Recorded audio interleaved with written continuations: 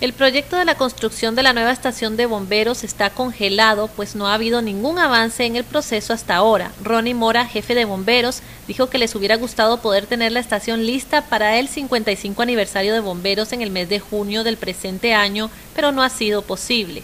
Bueno, para el cuerpo de bomberos, lo ideal era haber estrenado estación en este 55 aniversario que estamos cumpliendo ahora el 17 de junio pero se ha dado el problema de que el, traspaso del lote de la municipalidad para el cuerpo de bomberos eh, está detenido en, en la notaría del Estado.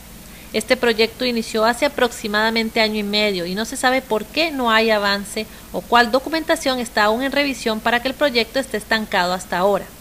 Hace aproximadamente un año, año y medio que se encuentra ahí y estamos en espera. Este, el cuerpo de bomberos ya está listo, se supone, y esperamos iniciar construcción el otro año, pero eso es lo trabita que tenemos hasta el momento. Al parecer, en la parte de la notaría es donde esto aún está sin avanzar, pero pues no se conoce cómo funciona dicho proceso para determinar la situación. Bueno, ya eso es, eh, eh, son cuestiones de la notaría, no sé cómo trabajarán ellos y, qué procesos llevan, entonces no, sería justo que los juzgue sin, saber cómo es el proceso en sí. Entonces no saben para cuándo van a tener ustedes la otra estación.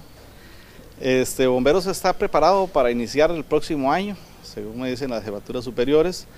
Eh, todo está en que esto esté listo.